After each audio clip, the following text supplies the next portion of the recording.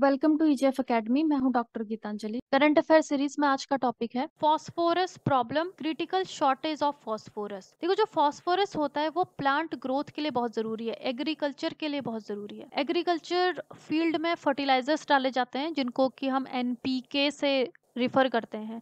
इसमें क्या होता है? नाइट्रोजन फॉस्फोरस एंड पोटेशियम तो ये जो फॉस्फोरस है, ये फर्टिलाइज़र में प्रेजेंट होता है और इसे रॉक्स से निकाला जाता है और उसके बाद फर्टिलाइज़र बनाया जाता है। लेकिन अभी ये जो फॉस्फोरस है, इसके काफ़ी शॉर्टेज देखने को मिल रही है वर्ल्ड वाइड तो ये शॉर्टेज क्यों हो रही है? इस पर हम देखते हैं कि ये क्यों शॉर्टेज हो रही है। देखो फॉस्फोरस के जो रिजर्व्स हैं ऑलरेडी जो प्रेजेंट है ग्लोबली वो काफ़ी ज़्यादा लिमिटेड है। बहुत कम जगह पे ही फॉस्फोरस मिलता है और उसमें भी बहुत ज़्यादा जो फॉस्फोरस है वो कंटेमिनेटेड है। उसमें कैडमियम का कंटेमिनेशन है। कैडमियम क्या है? एक टॉक्सिक मेटल है। इसका कंटेमिनेशन इसमें देखा जा रहा है। जिसकी वजह से जो फर्टिलाइज़र मार्केट है वो काफ़ी डिस्टर्ब हो रही है। देखो फर्टिलाइजर्स में अगर कैडमियम से जो कंटेमिनेटेड फॉस्फोरस है, उससे अगर हम फर्टिलाइज़र बनाते तो उससे होगा क्या? हमारा जो एग्रीकल्चरल फ़ील्ड है, उसमें हमने वो कैडमियम वाला फर्टिलाइज़र डाल दिया। तो वो जो कैडमियम है, वो उस प्लांट में भी आ जाएगा और उस प्लांट के पार्ट्स को अगर हम खाते हैं, उसके जो ग्रेन्स हैं तो उससे वो ह्यूमन बॉडी में भी आ सकता है। जिससे कि वो ह्यूमन को डैमेज कर सकता है। सो दैट्स वाई जो फॉस्फोरस की स्कैरसिटी है फॉस्फोरस की जो कमी है, उसकी वजह से एग्रीकल्चर सेक्टर काफ़ी इम्पैक्ट हो सकता है। देखो नेचुरली जो फॉस्फोरस है अर्थ के क्रस्ट में ये मिलता है फॉस्फेट के फॉर्म में मिलता है। इसमें जो मोस्ट प्रोमिनेंट फॉस्फेट है दैट इज़ एपेटाइट एपेटाइट के फॉर्म में ये मिलेगा फॉस्फेट रॉक्स में। तो जो फॉस्फेट रॉक होता है, इनमें फॉस्फोरस का कंटेंट काफ़ी ज़्यादा होता है तो इसका एक्सट्रैक्शन इजी होता है। इसी में से फॉस्फोरस को निकाल लिया जाता है और उससे बनता है फर्टिलाइज़र तो एनपीके देखा जाता है कि फर्टिलाइज़र में नाइट्रोजन कितना है फॉस्फोरस कितना है और पोटेशियम कितना है। और इसका जो ये पी है दैट इज़ द फॉस्फोरस अब जो फॉस्फोरस है, उसके इंडस्ट्रियल यूजेस भी होते हैं। सिर्फ़ फर्टिलाइज़र में ही यूज़ नहीं होता। डिटर्जेंट्स में भी फॉस्फोरस का यूज़ होता है। डिटर्जेंट में फॉस्फोरस को डाला जाता है फॉस्फेट के फॉर्म में। इसका क्या यूज़ है? देखो, जो हार्ड वाटर होता है, एक होता है सॉफ्ट वाटर और एक होता है हार्ड वाटर जो हार्ड वाटर होता है, उसमें कैल्शियम और मैग्नीशियम के कार्बोनेट्स ज़्यादा प्रेजेंट होते हैं। तो इस वजह से जो ये सरफेक्टेंट्स होते हैं या फिर जो सोप होते हैं, वो अच्छे से पानी में मिक्स नहीं होते। तो उसका यूज़ करना काफ़ी टफ होता है। जबकि सॉफ्ट वाटर जो होता है उसमें कैल्शियम मैग्नीशियम कम होता है, इस वजह से उसमें सर्फ अच्छे से मिक्स हो जाता है और उसका हम यूज़ अच्छे से कर सकते हैं। सॉफ्ट वाटर आप समझ सकते हो कि जो रिवर्स का पानी होता है, वो सॉफ्ट वाटर होता है और हार्ड वाटर जैसे कि जो ग्राउंड वाटर है। ग्राउंड वाटर में क्योंकि कैल्शियम मैग्नीशियम के कार्बोनेट्स बहुत ज़्यादा मिक्स होते हैं तो वो एक हार्ड वाटर होता है। तो अब जो नॉर्मल डिटर्जेंट है, वो हार्ड वाटर में काम नहीं करते, इसीलिए इसमें फॉस्फेट मिला दिया जाता है।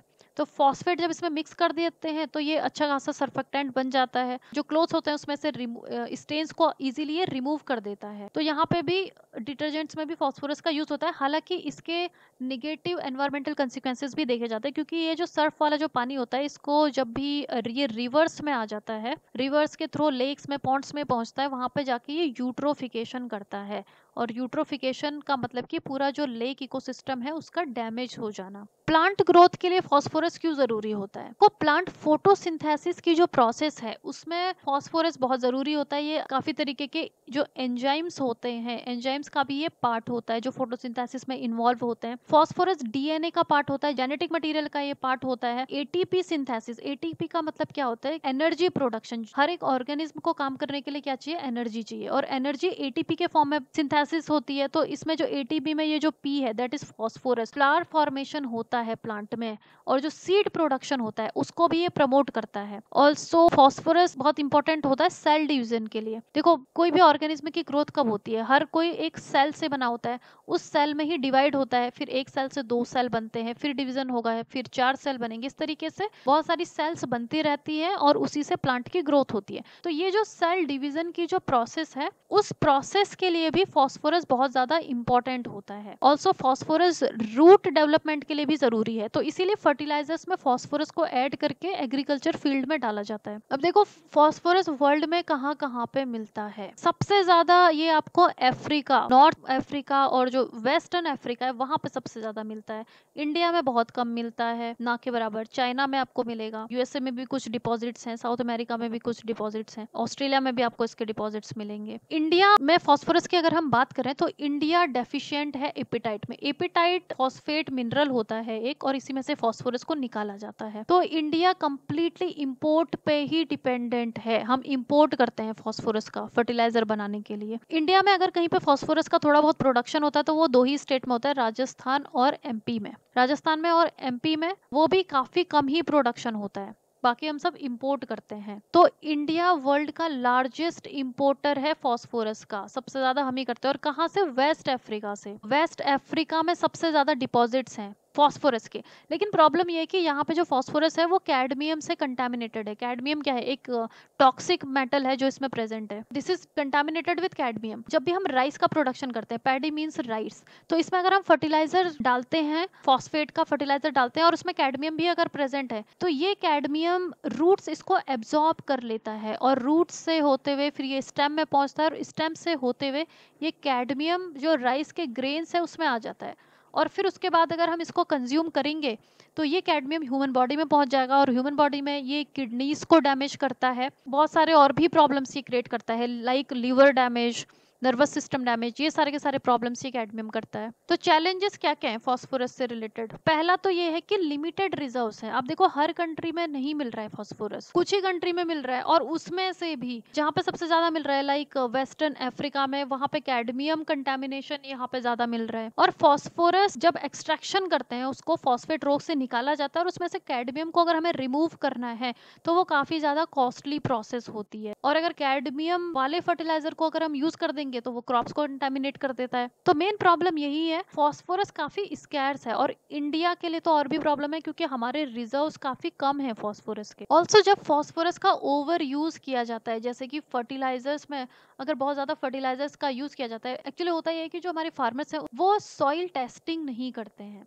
अगर सॉइल की टेस्टिंग करी जाए कि कोई एग्रीकल्चर फ़ील्ड है और उसमें सॉइल में भी बहुत सारे न्यूट्रिएंट्स पहले से ही प्रेजेंट होते हैं। किसी सॉइल में नाइट्रोजन ज़्यादा होती है, किसी में फॉस्फोरस ज़्यादा होती है, किसी में पोटेशियम ज़्यादा होता है।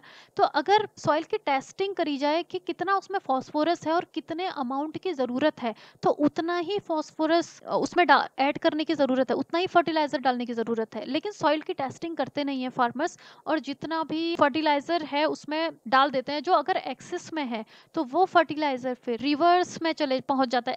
एग्रीकल्चरल फ़ील्ड से होते हुए रेनफॉल के थ्रो वो रिवर्स में पहुँच जाता है। रिवर्स से वो पॉन्ड में पहुँच जाता है।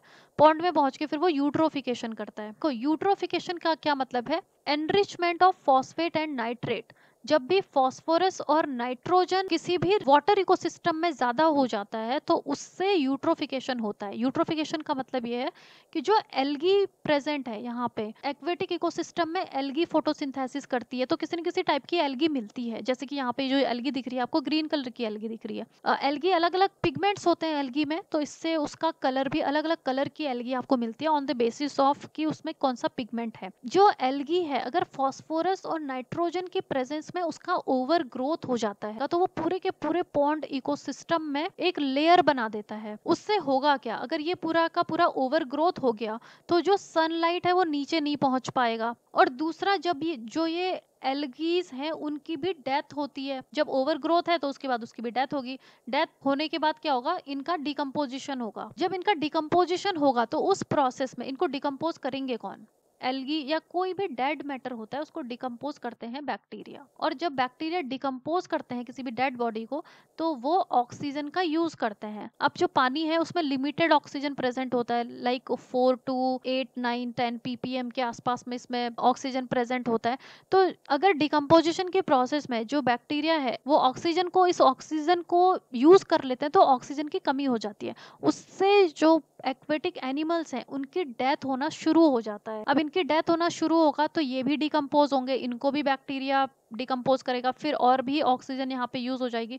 तो ऐसे क्या होता है कि पूरा का पूरा जो लेक इकोसिस्टम है, उसकी ऑक्सीजन डिप्लीशन हो जाता है और जितने भी एक्वेटिक एनिमल्स है धीरे धीरे उनकी डेथ होना शुरू हो जाता है।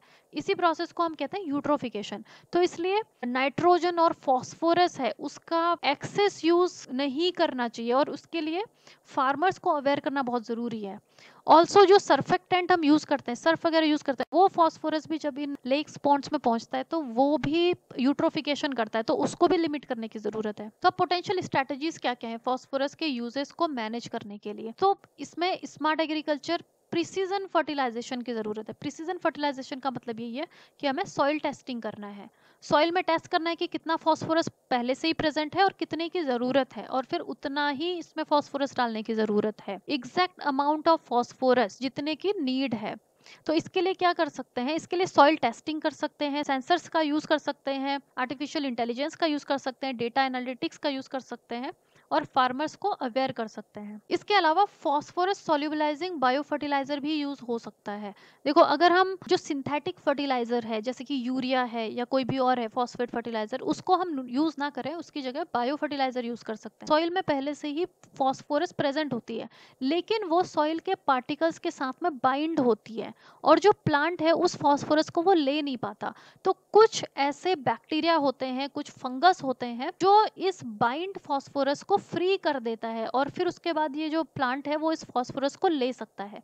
उन्हीं बैक्टीरियाज को या माइक्रोब्स को हम बायो फर्टिलाइज़र कहते हैं। तो उन बायो फर्टिलाइज़र या फॉस्फेट सोल्यूबलाइजिंग जो बैक्टीरिया है, उन्हें हम इंट्रोड्यूस कर सकते हैं यहाँ पे। और वो जो इनसॉल्यूबल फॉस्फोरस है, का सोल्यूबलाइजेशन कर सकता है और फिर उसके बाद प्लांट उसे ले सकते हैं। इससे हमारा जो सिंथेटिक फर्टिलाइज़र है, उसको कम यूज़ करना पड़ेगा हमें। ऑल्सो माइकोराइजा फंगस भी होते हैं, वो भी बायो फर्टिलाइज़र की तरह यूज़ होते हैं। माइकोराइजा देखो माइको मीन्स होता है फंगस और राइजा मतलब होता है रूट ये जो फंगस होते हैं, वो प्लांट की रूट में पाए जाते हैं. तो ये है विदाउट माइकोराइजा जिस प्लांट में ये फंगस नहीं प्रेजेंट है, वहाँ उसकी ग्रोथ कम होती है. और अगर इसी प्लांट में हम ऐसे फंगस को इंट्रोड्यूस कर दें, जो इसके रूट में रहता है और फॉस्फोरस को भी सोल्यूबलाइज करता है इट मीन्स कि सॉइल से सेपरेट करता है. जो सॉइल में बाउंड फॉस्फोरस है, उसको लिबरेट करता है, ताकि ये प्लांट उसको यूज़ कर सके। तो ऐसे फंगस को भी हम यूज़ कर सकते हैं सिंथेटिक फर्टिलाइज़र की जगह। इस वीडियो का पीडीएफ आप डिस्क्रिप्शन बॉक्स में दिए गए लिंक से डाउनलोड कर सकते हैं। करंट अफेयर सीरीज़ को फॉलो करने के लिए आप चैनल को सब्सक्राइब करें।